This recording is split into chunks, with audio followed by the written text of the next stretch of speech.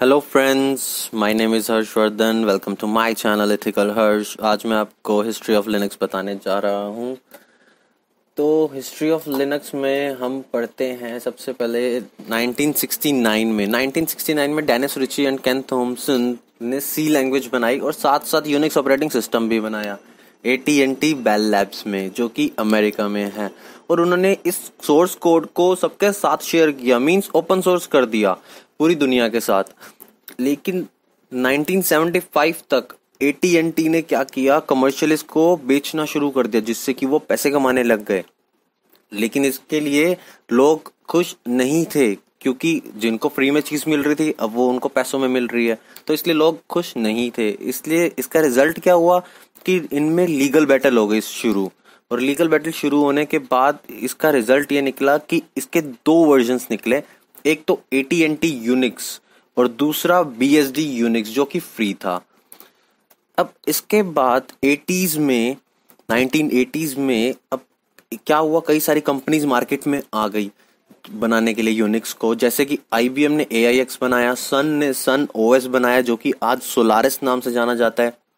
H P ने H P Unix बनाई, ऐसे कई सारी बनाई, कई सारी कंपनीज़ ने। तो इसका रिज़ल्ट क्या हुआ? बहुत मैस हो गया कि एक ही चीज़ को करने के कई सारे तरीके निकल आए। इसके बाद एक इंसान आया रिचर्ड स्टॉलमैन जिसका एम क्या था कि इस एरा को खत्म कर दे कि कई सारी वो आ रही हैं तो उस चीज़ को खत्म कर दे। तो उसने री किया इस चीज़ को by starting G N U's not Linux G N U project इसने स्टार्ट किया, जिसका मतलब था G N U is not Linux project और इसका गोल क्या था कि ये ओपन सोर्स करना चाहता था?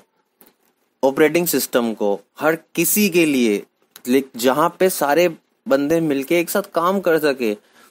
और जितने भी सी एल आई टूल्स आप यूज़ करते हैं कमांड लाइन पे आप जितने भी टूल्स यूज़ करते हैं, वो जी एन यू टूल्स ही कहलाते हैं।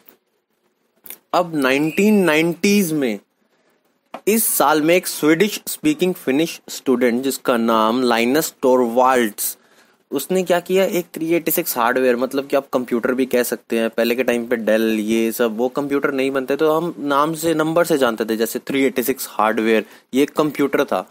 उसमें इसने एक न्यू पोस आई एक्स मतलब पोर्टेबल ऑपरेटिंग सिस्टम इंटरफेस एक कर्नल बनाया।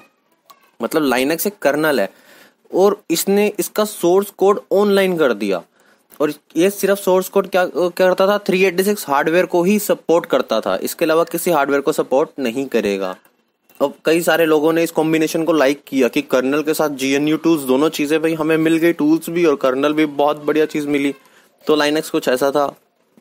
इसके बाद आज के डेट में 97 परसेंट दुनिया के सुपर कंप्यूटर्स इंक्लूडिंग टॉप 10 और 85 percent of smartphones billion of desktop computers or 70% of all web servers, several appliances DSL modem DVD router self driving cars metro system space station के computers ऐसे कि बहुत हैं, सारे Linux पे चलते हैं।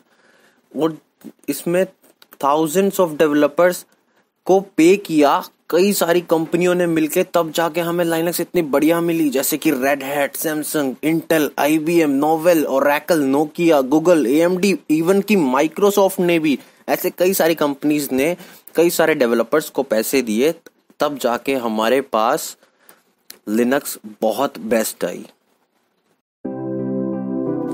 Thanks for watching my video. Please subscribe my channel for more videos and press bell icon button for new notifications.